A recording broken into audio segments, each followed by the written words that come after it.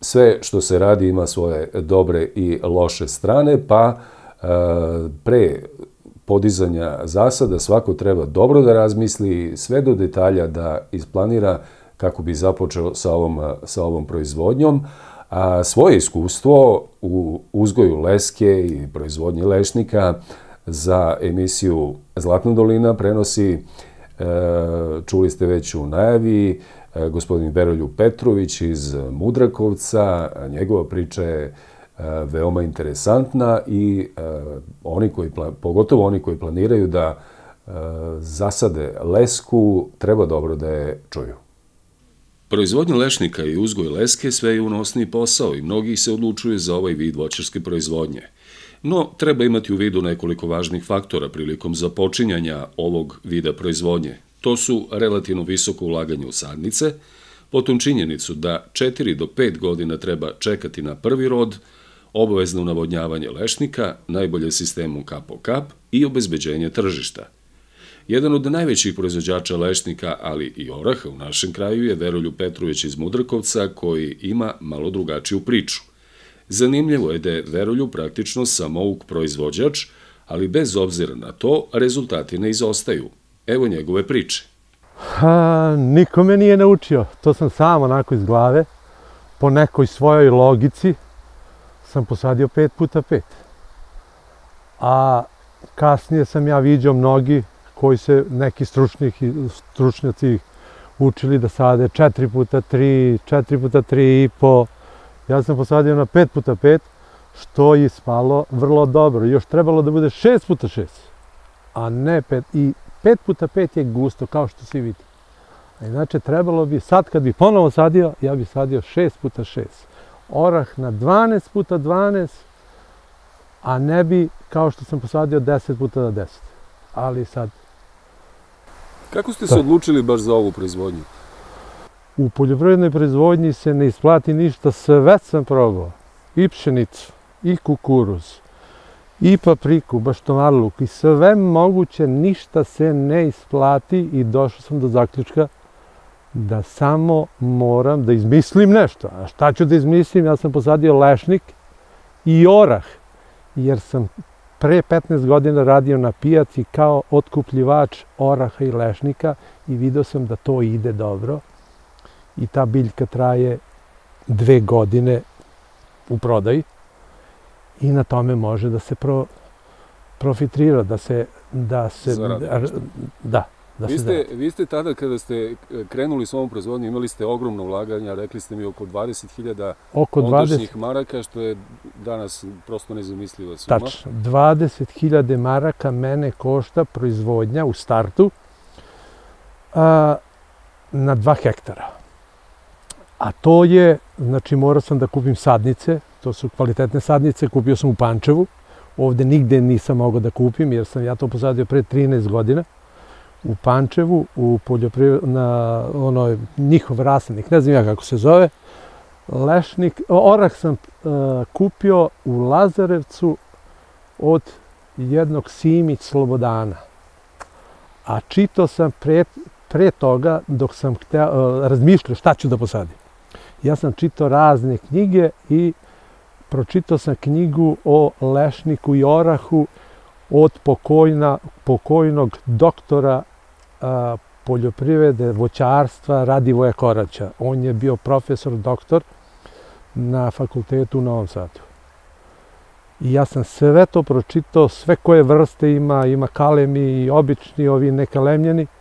I onda sam pitao njega gde ja mogu da kupim orah kalemljeni. On kaže da dođeš kod mene, ali on je imao samo neku svoju rasu Rasna, on je to nadao, dao ime po svom selu Rasna, negde tamo kod, ne znam ja, Požege, gde je rođen. A ja sam hteo da sadim orah bugarski, to se, ta sorta se zove Šejnovo. I nemački, ja imam dva, dve, tri sorte, dva, dve sorte nemački, 259 i 139, to je po šifri, i uh, ovaj bugarski Šejnovo. Tako da mi on kazao da ideš kod tog i tog čoveka, kod Simi Slobodana u Lazarevcu, jer on sigurno će ti da taj dobar orah kalemljeni, jer on je kalemio kod mene. I ja sam po njegovoj preporuci otišao i, i kupio kod njega. Da se e, vratimo na lešnika da ste zasadili, e, vi ste znali da, znači, pored tih velikih ulaganja, znali ste da pet godina nemate nikakve prihode od toga? E, samo ulaganja? A, nisam znao. Ka, niste znali? Nisam znao, da sam znao možda i ne bi, ali kad sam posadio i uložio toliko, ja sam morao da teram dalje, nema više nazad, nema nazad. I onda sam ja to terao dalje. Znači, za prvih pet godine nema ništa. Ima posle tri godine dek dek po neki za da jedeš ovamo namo, inače neke, neka zarada, neka, neki novac od toga to nema ništa, sigurno garantujem. Niti od oraha, niti od lešnika. Znači, posle pet godine tek ima. Ali za pet godine mora da se obrađuje, mora da se frezira, mora da se poliva, mora da bude, da se prska, da se, da se džubri adekvatno sve, a nemate za prvi pet, pet godine ništa. Da se neki ne pređe, sutra dan da posadi pa će da misli od, odmah će da bere, to se preša. Za, Samo može da izgubi pare.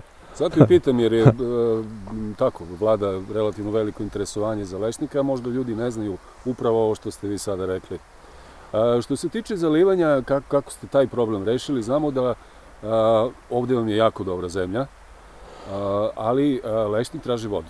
Pa po pitanju zalivanja u startu, dok se on posadi, on mora da se obavezno poliva da bi se primio prve godine, obavezno.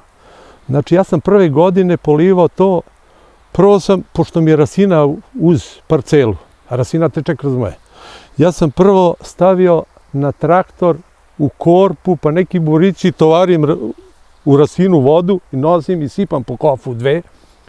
Tako sam celu godinu. Sledeće godine sam onda a, pravio leje, one u, u redu, ako leje, brazde, pa sam onda polivao sa Tomosovim motorom. Što je to mnogo teško išlo, jer to je velika količina i, i nekako sam uspio to. Pa kasnije sam kupio neke druge pumpe, drugi motori, 300 loma, ali nema vajde od nijedne pumpe osim kap po kap. A to košta 3000 evra po hektaru. Da se neko ne zavarava, da misli da to manje košta, to, ako ćeš normalno polivanje, sve fino, bez muke, 3000 po hektaru ulaganja. Rekli ste mi da bi bilo uh, poželjno ko se bavi intenzivno proizvodnjom da ima i protivgradnu mrežu, međutim mm -hmm. i to je ogromna investicija. Vi ste ovo rešili na neki drugi način, kažete nam. Da. Lešnik je, on je, kako da kaže, neotporan na toplotu, na vrućine. Ako je sam zasad, onda ima dobije ožegotine, one takozvane ožegotine, pa se osuši, plod se osuši, grana se osuši, list se osuši, sve. Ja sam slučajno upotrebio, te sam posadio i orah, tako da mi to služi kao senka, a protiv gradne obra, odbra, mislim, protiv grada to nije, nije štit, inače samo zbog senke. Orah mi služi, što se tiče lešnika. E, posle pete godine, a, da, da kažemo i zaštita, lešnik takođe traži, traži zaštitu, mada da. vi prvi godina niste. Niste nisam. imali potrebe. Nisam. Štitite tek prošle godine, ste rekli. Nisam, 12 godine nisam prsku uopšte. Uh mhm. -huh. Ne znam zbog čega, valjda nema niku u okolini, pa nema, nema te, tih bolesti. A ove godine sam morao da prskam uh, i to je znači posle 12 godine, 13. godine sam morao da prskam. I to mora da bude adekvatna prskalica koja baca, moj lešnik je visok 6-7 metara u visinu, one mali lešnici, oni može i sa one motorne pumpe, može i sa ručne pumpe, može svakojako, a moj ne može da se prska samo sa onim, onom prskalicom, takozvanim tajfunom, da. za voće. E, zato je i važan i ovaj međuredni razmak koji ima Da. pravilan da može... Da, može da se, prođe. da se uđe sa traktorom, sa prskalicom, da se to I da se ne da se nogre, mora da se oreže od ozdo, da to dole, viš kako je to, ima tu prostor, kako god okreneš, to je red, S, svuda, gde god pogledaš, tu je red. Da. I, znači, mora da se, da može da se manerviše traktorom, da se to normalno prska. Vaš lešnik je sada naravno u punom, u punom rodu. A, obično se pita koliko rodi jedno stablo, puta cena i smatra se da je to zarada. A, kažete nam nešto o tome kako je zapravo zarada u proizvodnji lešnika kod nas sad u ovom trenutku, odnosno kod vas. Vi, da kažem tako, imate ne sreće, nego iskustva dovoljno imate, imate neko tržište. Međutim, Da. mnogi poljoprivredni proizvođači koji, koji nemaju tržište su u problemu. Svako misli da je to, da je najsrećniji čovjek koji ima lešnik posađen. Da tu su lako pare, da se zarade lako pare. U stvari nije. Kod mene i ne ide baš ta, tako loše, zato što sam ja imao iskustva prethodne, prethodne 15 godine, bavio sam se sa otkupom i prodajem lešnika i oraha. I onda ja znam tržište. A inače, ovi drugi ljudi koji su čisti poljoprivredni proizvođači posadili lešnik, on ne zna gde će da ga proda. Država ne otkupljuje, nema nikakav otkup, samo rade na crno, otkupljuju i voze ovde, onde, sad gde voze nije ni bitno. Cena je mala, kad rodi više, onda je jeftino, kad rodi manje, onda je kao skupo, a i tad je plafon 1000 dinara. Neko misli da je to, on gleda tamo u maloprodaji 2-3 iljade, pa misli, ma kakvi 2-3 iljade. Sada trenutno ne može da se proda lešnik na malo i to super čist po 700 dinara. To je otkupna cena na veliko. A u prodaji je 900.000 na malo. Ono što takođe treba znati, o čemu smo pričali, je da lešnik ne rađe svake godine, e, nego svake druge, je li tako? Odnosno, rađe svake godine, ali Ali Mnogo svake manje. druge godine rodi onako u malo punom bolje. potencijalu, tako? u punom potencijalu, a svake druge obično rodi. Na primjer, ja sam sa moje plantaže od 2 hektara prošle godine imao roda 200 kg, a ove godine sam imao oko 5000 kg. To je znači 10 kg baci po stablu, ali starost lešnika je 13 godine.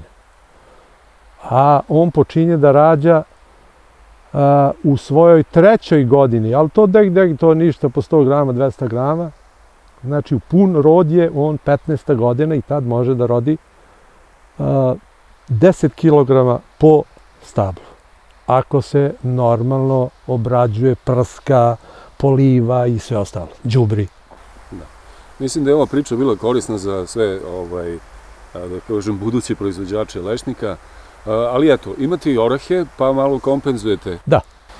Jedne godine ako nema dovoljno lešnika, ima oraha. tako Obično da- i orah rodi jedne godine, pa druge ne rodi i onda ja, to mi, jedne godine mi rodi lešnik, druge godine mi rodi orah, evo ove godine malo mi rodi orah, više lešnik i jedno drugo pokriva. Da. Zato što sam ja slučajno potrevio, posadio i lešnik i orah zajedno. Takođe, ono što je interesantno, čime se još bavite, to je i višnja. Zasadili ste Da, višnju. na 25 ari, je li tako? A, ne, višnju imam, a, sad sam, a, imao sam negde 40 ari, a sad imam još 40, 80 ari sam posadio višnju. E, u, malo pre kad smo pričali, rekli ste da je višnja bolji posao.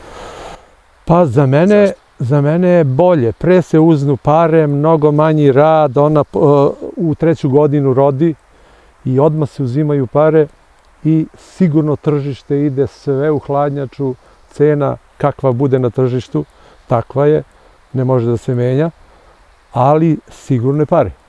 A lešnik nije sigurna para. Ako rodi dosta i jeftino ne može da se proda, koga god ponudiš, e, ima, kaže, iz Turske, kaže, po 400 dinara. Kako 400 dinara, pa mene košta 200 dinara samo razbivanje, čišćenje. Da kupim krckalicu, ona košta adekvatnu krckalicu od 1000 i po do 3000 evra košta.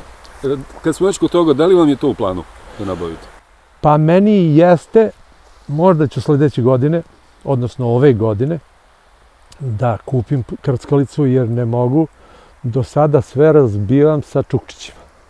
A to je, čuje Bože, to ne može da se zaradi. Ja ceo dan čistim, razbivam i čistim, ne mogu da zaradim više nego 500 dinara ako računam 100 dinara po kilu čišćenja. Jer od 5 kila ne mogu više da, da, da očistim, da razbijem i da očistim. To je po 100 dinara, 500 dinara. A ko će da radi danas za 500 dinara? Neće niko, ni budala. Samo ja. da.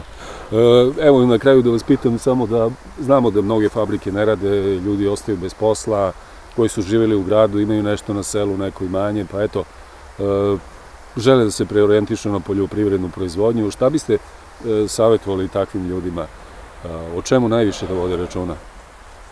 Imajući u vidu da recimo mnogi od tih ljudi nemaju nikakvo znanje. Pa... I radne navike. Jer ovde se mnogo radi.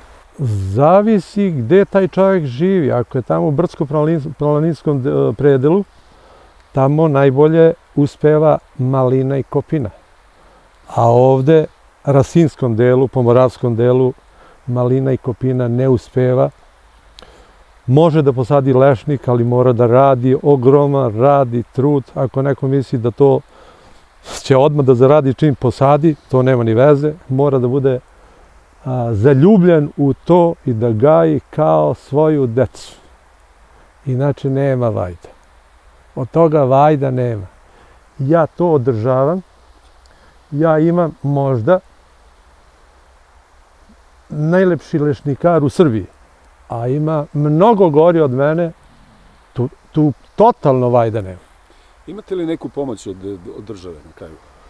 Nemamo države nikakvu pomoć, niti sam imao ikada u životu.